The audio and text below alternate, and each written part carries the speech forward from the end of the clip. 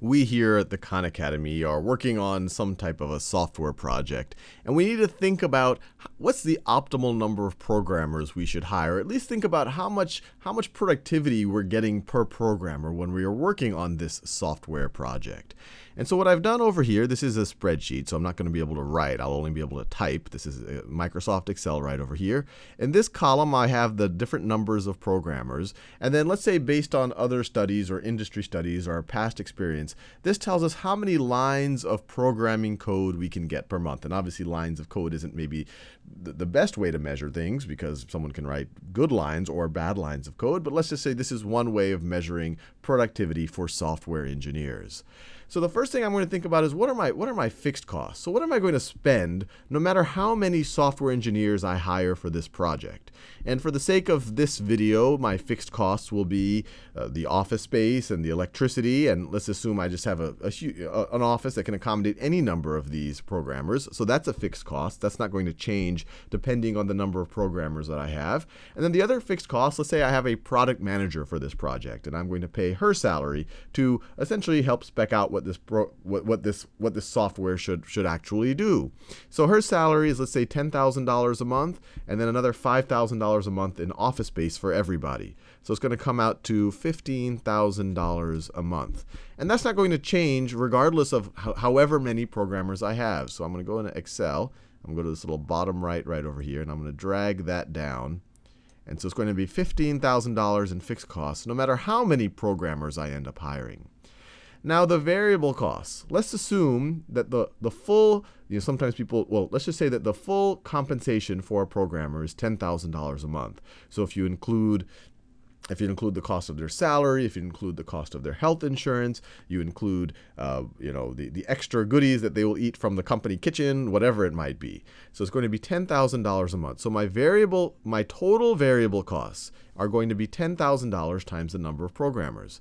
So here I'm going to write equals, equals, and I'm going to write, it's going to be $10,000 per programmer, times that little snowflake, I pressed Shift 8 to get that snowflake, times, and I could say times whatever is in that cell. So you see it's, it's cell D7. And actually, let me scroll this over so that you can see, so you can actually see the cells. So that is cell D7. And let me press enter. So that cell, so it's $10,000 times D7, which is this one right over here. And I just selected that. And I can press enter. And right now, that's nothing. Let me scroll over so we can see everything a little bit, a little bit better. Let me scroll over a little bit to the, there you go. I'm having trouble. Okay, there you go. Now, what are going to be my total costs? My total costs are my fixed costs plus my variable costs.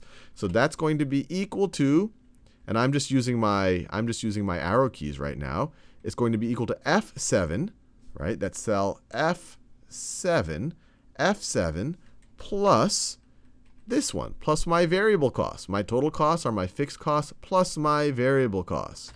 And so it's $15,000.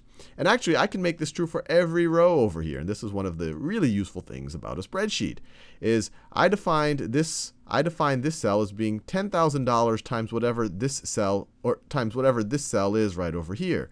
And so what I can just do is I can just scroll, take that, drag that all the way down.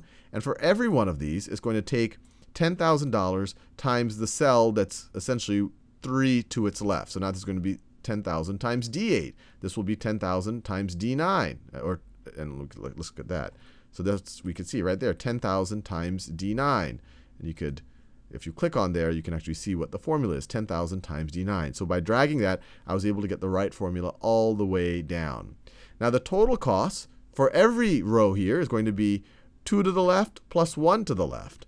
And so if I drag that down, it'll do that for every row over here. So now this is 25 is the 15 plus the 10. 105 is 15 plus 90,000. Our total costs are fixed costs plus variable costs. Now let's think about the average fixed costs. And the average fixed cost, we're going to think about it in fixed costs per line of code produced. And over here, line of code produced is 0, so we're going to get you're going to divide by 0, which is undefined. So we could leave that blank, but we could fill this one in. So our total fixed cost, this is going to be our total fixed costs, which is cell F8. I just use the arrow keys to select F8, divided by divided by our total lines of code per month. So divided by our total lines of code per month. And so that gets me $3.75 fixed costs per line of code. And then I can scroll I can do the same thing that I've been doing before. I can drag this down and then we see what the fixed cost is. So at any given point, if I take the fixed cost, $15,000 divided by the lines of code, I get $1.38. And this actually makes sense because the more the more programmers I add on to this project, the more lines of code I get, I'm using the same fixed costs. I'm using the same project manager. I'm using the same office space. So the cost of that project manager, that office space, gets spread out amongst or along more and more code. So the cost, the fixed cost per line of code goes down as we add more and more programmers. Now, what is the what is the average variable cost? So once again, the variable cost is going to be whatever the variable cost is per lines of code per month. So we're the, when we're talking about average, we're talking about average cost per line of code. And maybe I should, so this is per line of code, per, let me write it over here, per line of code. And I can even say per month. Per line of code per month. Actually, I wanted that to spread out more, but the way I've set it up, so let me scroll down. Whoops. Let me, I'm having issues here. All right. Well, th these are all per line, average, average lines of code per month. And so let's think about what happens with our variable costs. So I'm also going to start here because I don't want to divide by zero. So in this month, our total variable costs were $10,000, and our total lines of code are going to be $4,000. G8 divided by E8. And so average variable cost per line of code is $2.50. And then what happens? So let's do that for every row over here. So when we do it for every row, something interesting happens. Our average fixed cost went down because we're taking the same cost and we're spreading it out amongst more code. But our average variable costs went up. As we added more programmers, per line of code, it actually cost us a little bit more on average per line of code. And that's actually, if you look here, as we add, the incremental lines of code we get per programmer is actually going down. That first programmer by themselves, she can write 4,000 lines of code. But then that second programmer is only, not, you're not getting to 8,000, you're getting to 3,000. And probably because they have to coordinate with each other, they have to plan a little bit more. It's not all in one person's head. Then, when you add the third one, you're not even adding 3,000 lines of code, you're only adding 2,000 lines of code. And this is actually a real phenomenon that actually happens in companies. The more people you add on to a product, a project, obviously they can maybe do more work, but there's also more coordination, there's going to be more meetings, there's going to be more interruptions. And so each person's individual productivity is going to go down. And this isn't to say that this third coder is somehow worse than the first coder. All of their, on average, all of them are now only going to produce 3,000 code, 3,000 lines of code a month, when maybe individually they could have each produced 4,000 lines of code, but they have to spend some of their energies now coordinating it. And so that's why our average variable costs per line of code is going up. As we add more and more people, it's getting us incrementally, it's getting it's becoming more and more expensive on average to write that line of code. And if we look at average total costs, that's going to be, and this is once again, this is per line of code, it's going to be our total costs, H8, H8, divided by the total lines of code per month.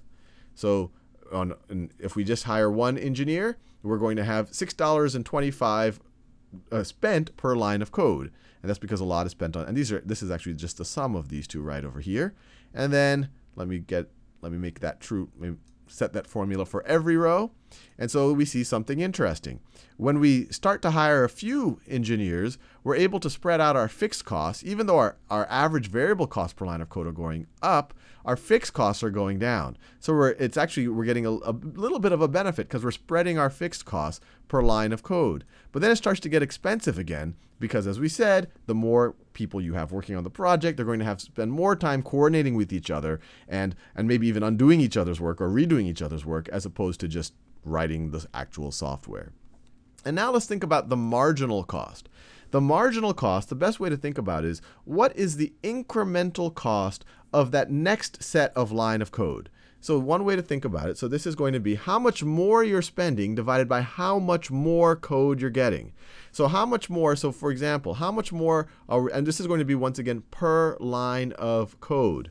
So once again, so we're getting we're spending, when we go from zero programmers to one programmer, we're going from $15,000 of total cost to $25,000 of total cost. So we're going from, we do in parentheses, 25 if we're going from 15 to, tw- to 25, that means we're increasing our expenditure by 25 minus 15. And so that's why I'm doing H8 minus H7. So that's how much more we're spending in expenditures. And then how much more code are we getting? Well, we're getting we're getting 4,000 minus 0 lines of code. And the reason why I'm doing the formula this way is so that when we drag it down on all the rows, the formula will be right, because it's, it's relatively taking the right cells into account. And the reason why I'm saying it's average is because this is saying what's the incremental cost per line of code for this first 4,000 lines of code. And then we can go from there and we can drag it down. And now this tells us the incremental cost per code for the next 3,000 lines of code. And once again, it got a little bit more expensive because we're getting a little bit less efficient as we add more and more people. And there's something very interesting that happens here, and you might have even noticed it in these numbers over here. We actually get a negative marginal cost. And this isn't meaning that when we add more lines of code, somehow we're getting money. It's actually saying that as we spend more money, we're actually we're actually killing lines of code because at some point if you have too many people on this one project team they actually start killing each other's productivity and you can even see it right here in the numbers when we had seven people, we were able to write 11,400 lines of code. But then the eighth person, because of coordination, it's not that this eighth person is incompetent. It just, when you have eight people in a team, everyone's productivity goes down so that you're only able to produce 11,200 lines of code. And that's why you had this negative marginal cost. Now, when you get to eight people, all of a sudden, by add, spending more dollars, you're actually destroying some of what you are actually trying to produce. So what I wanted to do here is just to really get you behind the numbers and really maybe give you a little sense of how you can actually do this with a spreadsheet and get you thinking a little bit about how a firm's cost structure might actually work.